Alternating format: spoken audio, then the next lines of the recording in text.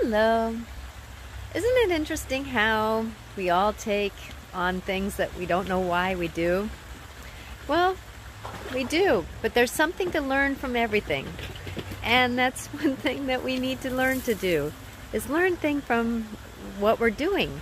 Because sometimes the universe puts things in front of us and we kind of go, why did I say yes to that? Well, sometimes we got to walk through it to find out the lesson of that. You know, and sometimes life is going to be what it's going to be. So take everything on as a, I'm learning about it.